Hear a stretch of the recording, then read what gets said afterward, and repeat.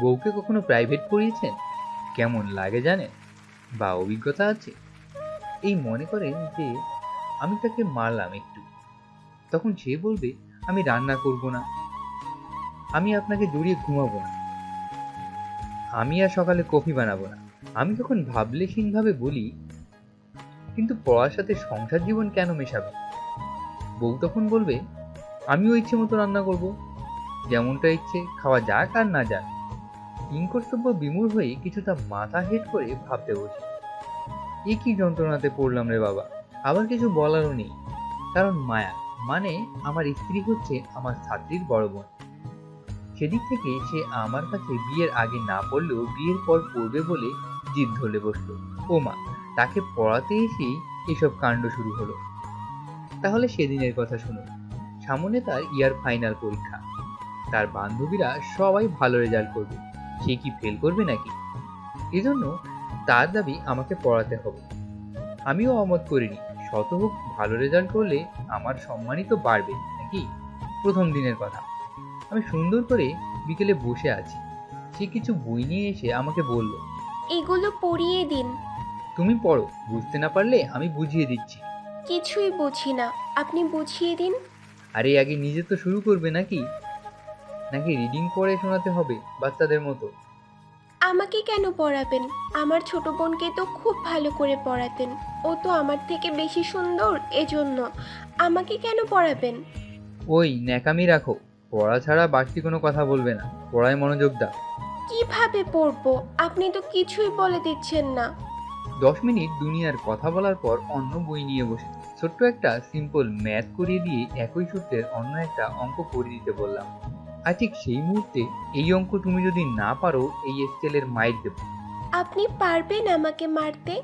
অবশ্য পারবেন কারণ আপনি তো আমাকে ভালোই বাসেন না। এই জন্যই পারবেন। আমি কেবল আপনাকে ভালোবাসলাম জীবনে কিছুই পেলাম না। আরে দূর ওই আগামীকাল থেকে অন্য টিচার বাসায় ডেকে এনে পড়াবো। আমি পারব না পড়াতে। তা পারবেন কেন? এক্ষুনি একটা সুন্দরী মেয়েকে পড়াতে বলুন ধ্যাং ধ্যাং করে চলে যাবেন পড়াতে। আমি তো সুন্দরী নই, তাই না? মায়া এসব হাবি যাবি বলে মাথাটা দিল খারাপ করে। রাগ করে চলে এলাম, রুমে এসে ঘুমিয়ে পড়লাম। কারণ এক সেকেন্ড ওর কাছে থাকলে দুনিয়ার কথা বলে মাথা খাবে। এই স্টুপিডকে কেন বিয়ে করেছিলাম শুনবে? ছাত্রীর মা আমাকে অসম্ভব স্নেহ করেন। তার মেয়েকে সুন্দর করে পড়ানোর কারণে আমাকে সবসময় এক্সট্রা ভালোবাসা দিয়ে খুশি রাখে। আর আমিও তার স্নেহ পেয়ে আনন্দিত। তার দুইটা মাত্র মেয়ে। বড় মেয়ের নাম মায়া আর ছোট মেয়ে ছায়া। ছায়া এবার এসএসসি দিবে। খুবই ব্রিলিয়েন্ট স্টুডেন্ট দেখতেও খুব সুন্দরী। এদিকে আঙ্কেল থাকেন ঢাকার বাইরে। খুব কম আসেন বাসাতে। আন্টি সব দেখাশোনা করেন। বাসায় যখনই ভালো কিছু রান্না হয়, সবার আগে আমাকে দাওয়াত দেন বা কোনো বিশেষ দিনে আমাকেই আগে ডাক দেন। তো একদিন আঙ্কেল আন্টি আমাকে ডেকে বললেন, মেয়ে, তোমাকে আমরা একটা কথা বলব ভেবেছি। আশা করি তুমি কথাটা রাখবে। জি আন্টি অবশ্যই, আপনি বলুন। আমরা জানি, তোমার বাবা মা নেই। তুমি ফুপুর কাছে বড় হয়েছো, আর সেই ফুপুও তোমাকে তেমন খোঁজ খবর রাখে না।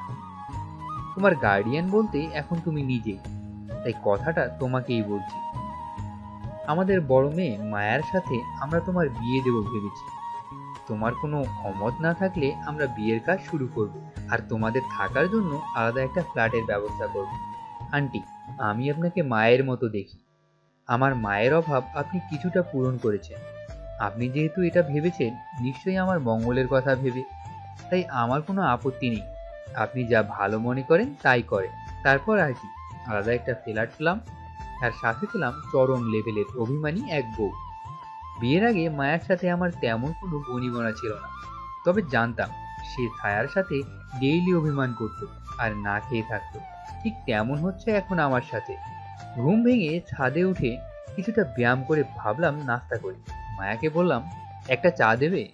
বানিয়ে খান, আমি দিতে পারব না। তোমার কিসের এত ব্যস্ততা শুনি? আমি পড়ছি আর তাছাড়া তখন আমাকে না পড়িয়ে চলে গেলেন আবার নিজে ঘুমিয়ে এলেন মনে নেই? কেন?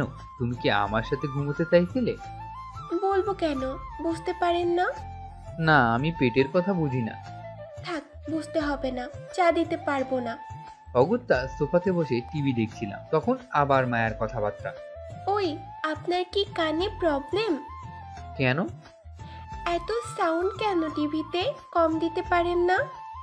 ও আচ্ছা কমই তো।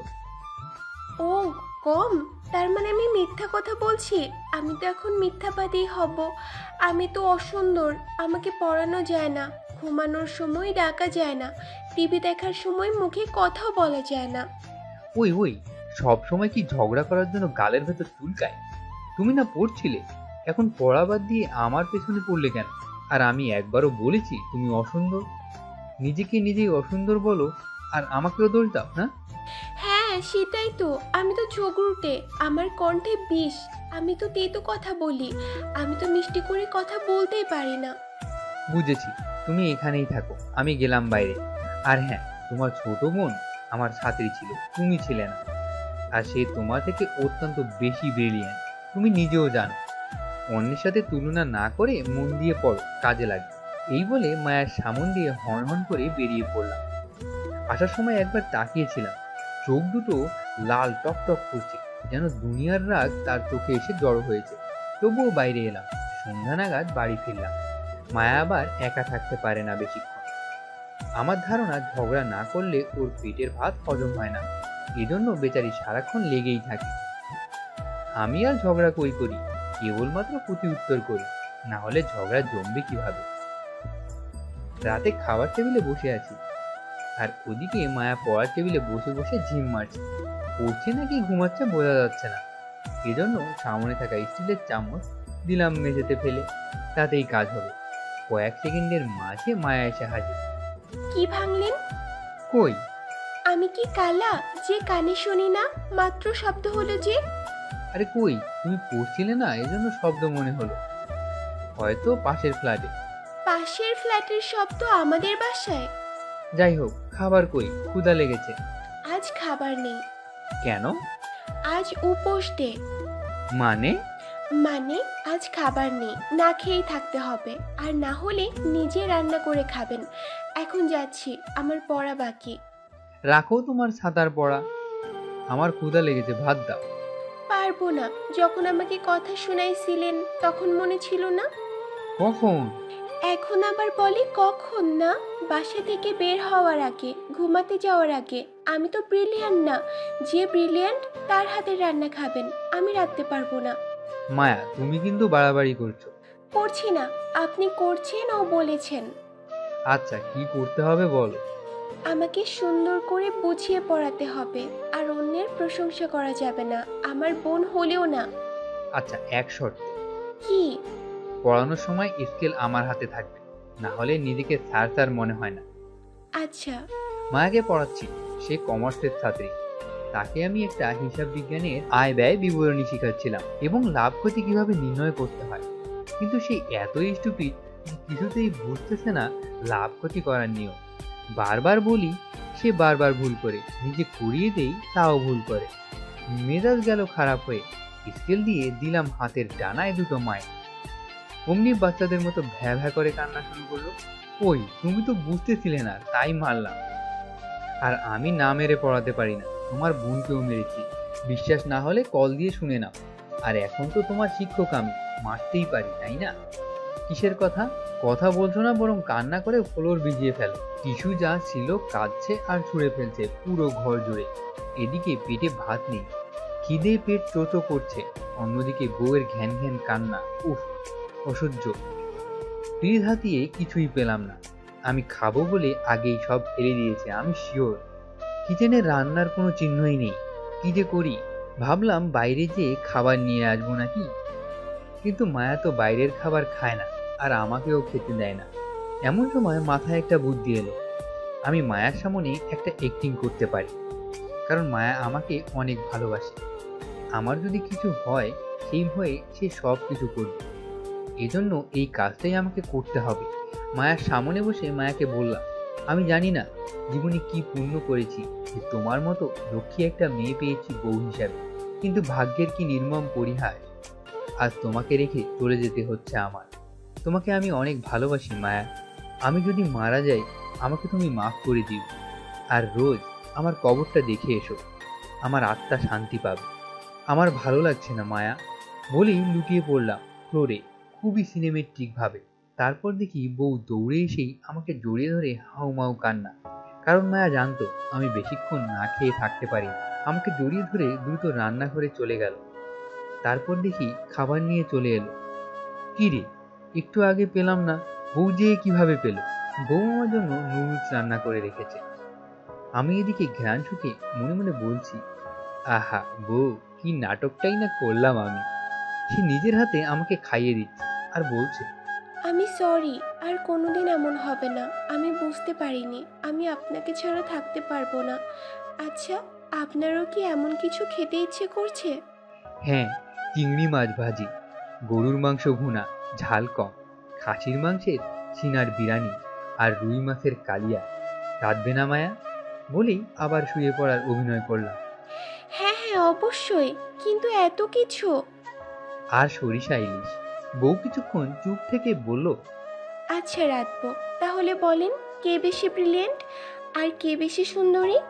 অবশ্যই তুমি কারণ তোমার রাঁধুনির হাত সেই লেভেলে আর তোমাকে দেখতে একদম ভরা জ্যোৎস্না। তবে পড়তে বসতে চেও না। আর হ্যাঁ আমি আবার স্কেল ছাড়া পড়াতে পারি। আমিও কিন্তু রাতে আর রাখব না। না খেয়েই শুটিং করতে হবে। কি ভাবছেন? আমি বুঝি না।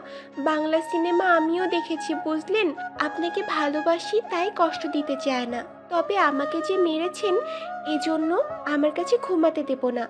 আজকে আপনি পাশের রুমে ঘুমাবেন। এমন মারামারি করা স্যারকে আমার কাছে ঘুমাতে দেব না। বুঝলেন, মিস্টার মেঘ ভাইয়া অতঃপর আমি একটা দীর্ঘশ্বাস ছাড়িয়া সবিনয় নিবেদন করিয়া কহিলাম, আমি যে স্কেল ছাড়া পড়াতে পারি না